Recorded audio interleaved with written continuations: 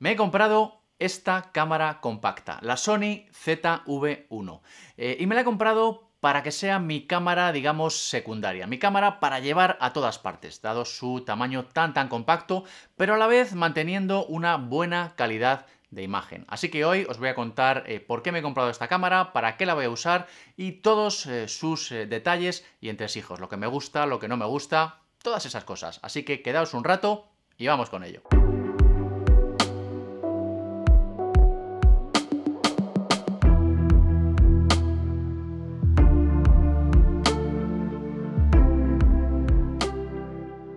La ZV1 es una cámara compacta muy muy pensada para todo este mundillo de YouTube y sobre todo para aquellas personas a las que les gusta hacer blogging, grabarse mucho a sí mismas. Eh, aparte de ser muy muy pequeña, pues trae varios detallitos que eh, están pensados para eso. El primero de ellos es su pantalla giratoria. Además, una pantalla giratoria eh, que enciende y apaga la cámara. Cuando abrimos la pantalla, fijaos, la cámara se enciende automáticamente, ya podemos empezar a grabarnos y cuando cerramos la pantalla, la cámara automáticamente se apaga. Algo súper práctico que eh, nos va a dar eh, mucha rapidez a la hora de ponernos a grabar. Además, por fin ya Sony se sube al carro de las pantallas giratorias, eh, al que se ha resistido durante muchísimo tiempo. Todo el mundo estaba pidiéndoles pantallas de este tipo. Y ya por fin en sus últimos modelos, la Sony A7S3, esta ZV1, empieza a bueno, pues darnos las pantallas giratorias tan, tan deseadas. Otro detalle en este sentido y que también me ha gustado mucho es una lucecita roja aquí al lado del objetivo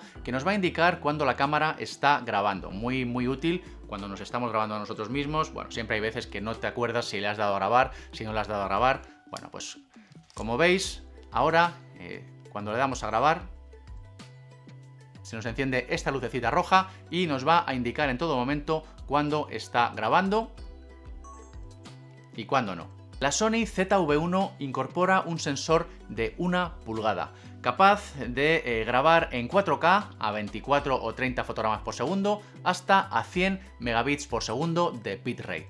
En 1080p es capaz de grabar a 120 fotogramas por segundo para hacer esa cámara lenta cuando la necesitamos, pero además eh, puede grabar a 240 fotogramas por segundo, a 480 y ojo al dato, a 960 fotogramas por segundo. Sin embargo, bueno, mm, esta altísima eh, tasa de fotogramas, eh, en mi opinión, no es nada usable. Como veis aquí, la pérdida de calidad es brutal y nos da un material que realmente no podemos usar para nada serio. Sin embargo, bueno, es increíble que una cámara tan pequeña sea capaz de grabar a esta tasa de fotogramas. A 120, que es lo que más vamos a usar, la calidad es buena y muy muy usable. Eh, nos va a servir para hacer cualquier tipo de toma, b-roll o tomas a cámara lenta o lo que necesitemos con total solvencia. Cuando empezamos a subir 240, 480 y 960, bueno, la pérdida de calidad empieza a aumentar. A 480 o 960, bueno, ya el material que nos da, mm, en mi opinión, no es usable para nada.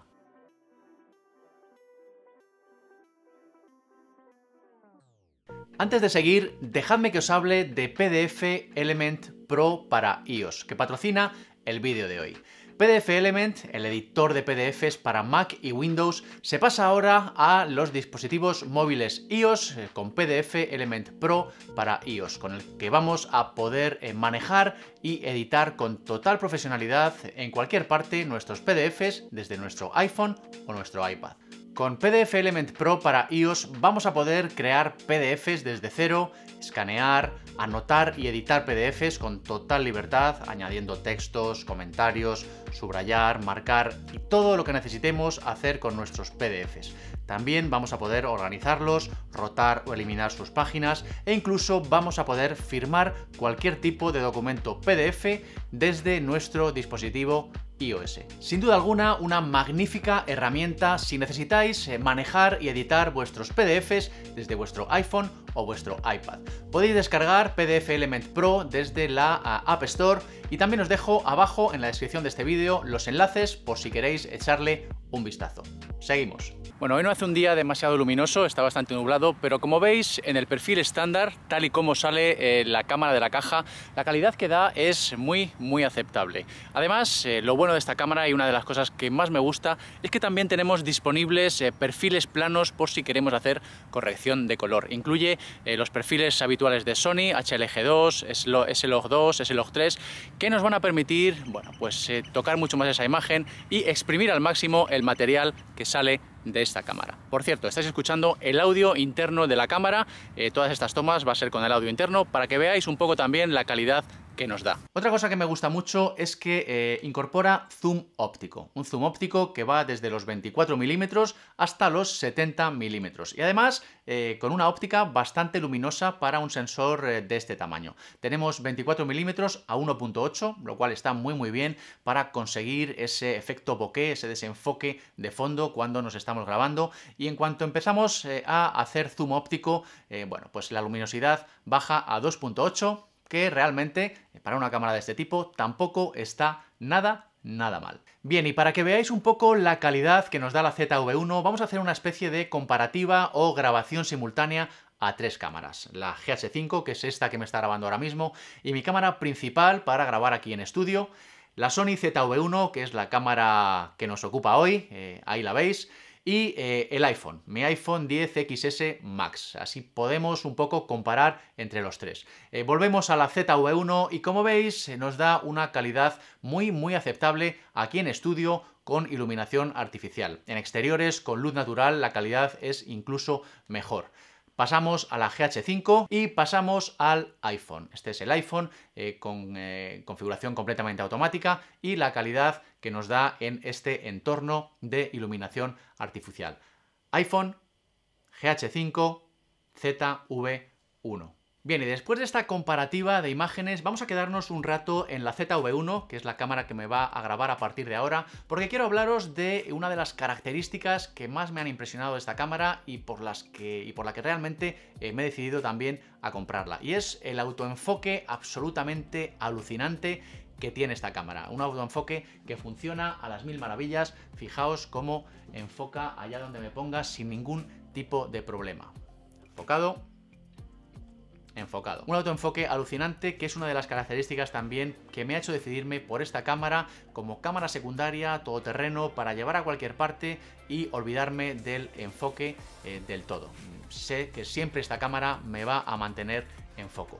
Eh, sin embargo, hay otra característica sobre el enfoque que me ha parecido muy muy interesante y que lleva esta cámara y es un enfoque eh, especial para eh, productos y especialmente indicado para youtubers o gente que está haciendo reviews de productos y quiere enseñar algo.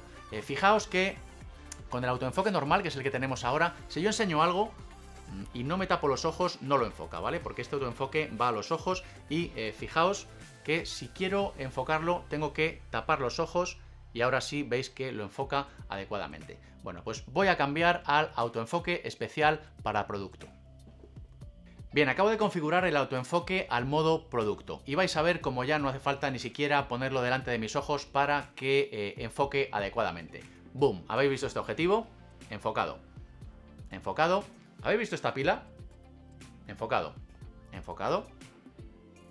Enfocado. Hmm, creo que nos ha enseñado este trípode. Enfocado, enfocado.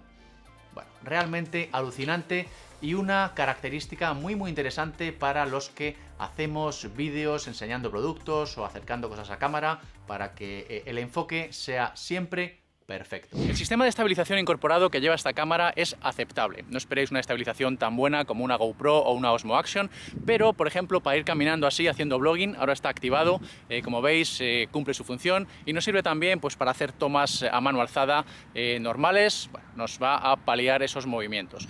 esta es la máxima estabilización, es la que veis ahora activada. Lo único malo es que nos hace un poquito de recorte de imagen. Vamos a cambiar al nivel medio. Este sería el nivel de estabilización medio, el estándar podríamos decir, y como veis la estabilización es un poquito menor, pero ganamos ángulo de visión.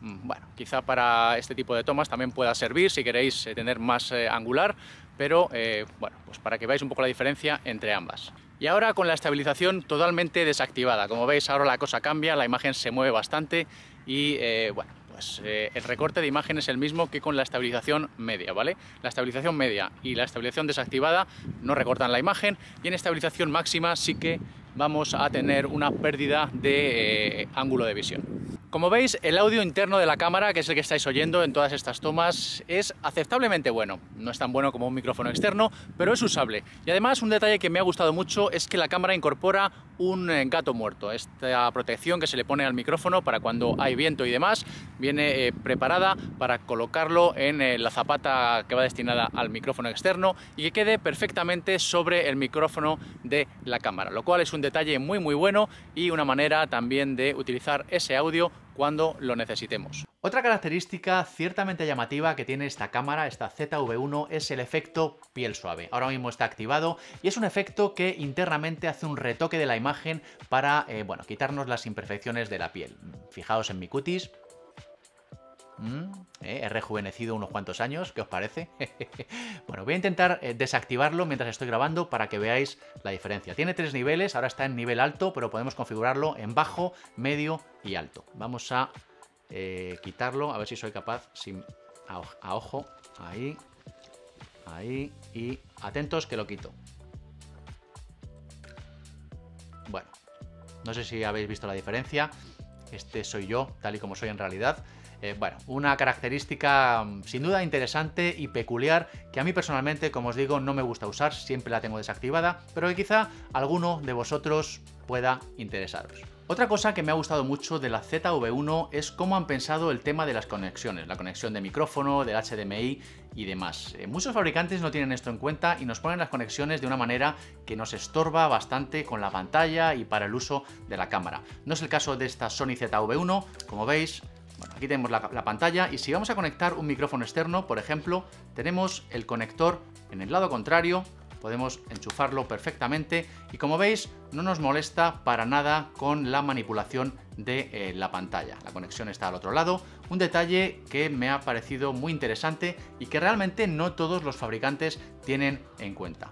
Punto positivo sin duda para esta pequeña Z V1. Por último, otra de las cosas que me encantan de esta cámara es que lleva en su interior incorporado un filtro de densidad neutra.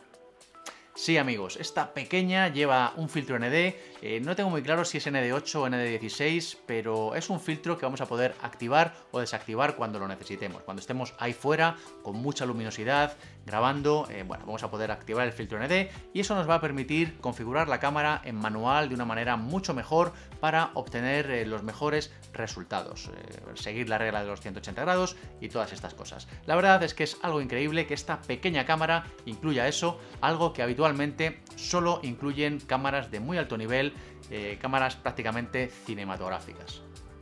La ZV1 tiene un filtro ND incorporado. Puntos eh, negativos, entre comillas, o cosas que me gustan menos de esta ZV1. Eh, principalmente son dos. el primero de ellos es la duración de la batería. La batería de esta cámara no es para tirar cohetes y en un uso intensivo, grabando a 4K, bueno, en 35, 40 minutos como mucho, vamos a estar ya rozando el límite de agotar la batería. Por ello es muy muy interesante eh, contar con dos o incluso yo diría que tres baterías para poder hacer un uso eh, continuado de la cámara. Eh, con la cámara viene incluida una batería, yo lo que he hecho ha sido comprar un pack de dos baterías, no de Sony, sino de terceros. Os dejo abajo en la descripción de este vídeo el enlace de las baterías que yo he comprado. Un pack eh, de baterías muy interesante porque además incluye también cargador para cargar dos baterías a la vez y demás. Con lo cual, imprescindible comprar baterías de repuesto para hacer un uso continuado de la cámara. Y el segundo aspecto que me gusta menos de la Sony ZV1, yo diría que en general de la mayoría de cámaras Sony, son sus eh, menús. Sus menús de configuración son bastante poco intuitivos, bastante liosos y bueno, sobre todo en mi caso acostumbrado a los maravillosos menús que llevan las cámaras Panasonic. Bueno, el cambio hasta este menú de Sony ha sido un poco galimatías. Sin embargo, bueno, una vez que ya te vas acostumbrando a él, vas eh, averiguando dónde está todo, no es, algo, no es un impedimento grande para sacarle todo el partido a esta cámara. De hecho, estoy pensando en hacer un video tutorial sobre cómo configurar la ZV1 eh, para vídeo y fotografía para sacarle todo el partido. Si estáis interesados en ese tutorial, bueno, dejádmelo abajo en los comentarios y me plantearé haceros ese vídeo. Si hay un pequeño pero que le podemos poner a esta cámara es que quizá para este tipo de tomas de blogging 24 milímetros sea un poco justo. Lo ideal hubiera sido un 16, algo más de angular para ver un poco más a nuestro alrededor. Sin embargo, bueno, a mí no es algo que eh, me moleste porque utilizando un... Eh, trípode, como este que veis aquí, un pequeño trípode para alargar un pelín la distancia, bueno, este problema se soluciona y como veis, bueno, creo que el angular es suficiente para este tipo de tomas. Buena calidad 4K con perfiles planos de color, cámara lenta a 120 fotogramas por segundo de buena calidad, óptica luminosa, fotografías RAW de 20 megapíxeles, un autofocus alucinante y brutalmente efectivo, filtro ND incorporado, audio interno aceptablemente bueno y conexión para micrófono externo, pantalla giratoria.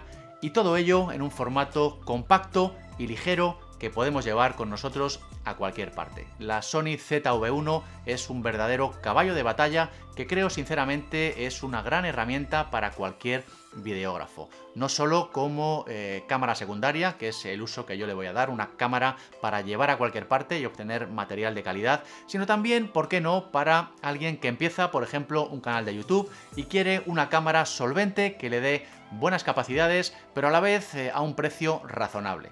Esta es, amigos, la Sony ZV1. Y hasta aquí, amigos, el vídeo de hoy. Eh, muchas, muchas...